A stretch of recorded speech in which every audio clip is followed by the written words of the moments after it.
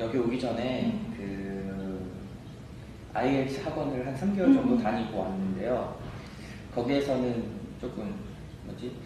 쓰는 거를 음. 그냥 주입식으로 이렇게 쓰면 된다라고 얘기해주면서 했던, 했던 게 라이팅 같은 게 좀 너무 어렵게 느껴졌었는데 여기에서 지금 한 5개월, 6개월 정도 공부하면서 라이팅이 되게 쉽게 느껴지거든요. 네. 원어민 선생님이 들려주는 대로 쓰기도 하고 음. 어떤 양식이 있는지도 아- 정말 되게 세세하게 알려주니까 writing이 저는 요즘 listening이랑 뭐 reading 같은 시험 같은 경우에는 한국에서도 편하게 할 수 있었는데 여기서 할 때 writing이 저는 더 편하게 잘 되는 것 같더라고요.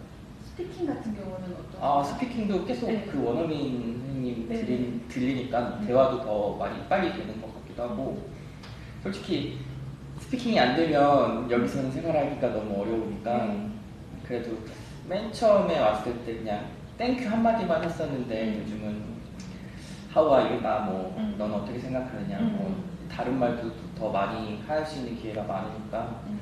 저는 네 와서 공부하는 게 좋은 것 같아요. 네.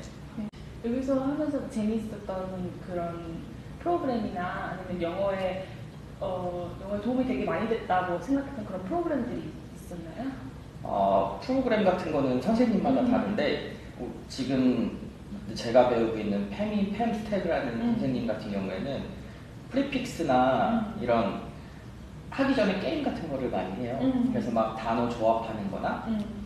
뭐 prefix라고 뭐 안티 뭐 이런 음. 앞에 들어가는 문장만 알면 음.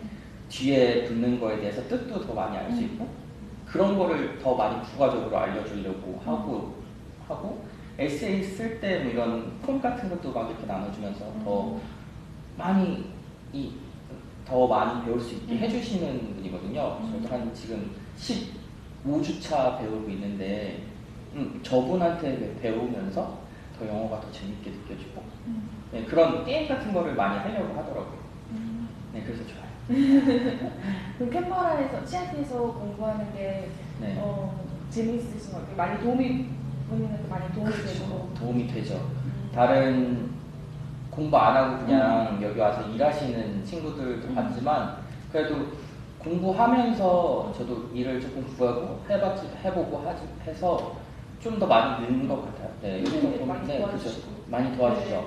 그리고 여기서도 많이 기회가 음. 뭐, 음, 학생 서비스 센터가 음. 있으니까 찾아가서 만약에 저번에는 그 잡을 구하고 싶다고 음. 찾아갔더니 아, 되게 많이 친절하게 얘기해주고 음. 아, 제 이력서 같은 것도 봐주고 음. 네, 막 어디 가서 만나보라는 약속도 잡아주고 그런 서비스들이 되게 좋더라고요. 음. 그리고 또 제가 뭐 한마디 하는 거에 대해서도 잘 들어주고 음. 네, 그런 게 좋은 것 같아요. 감사합니다.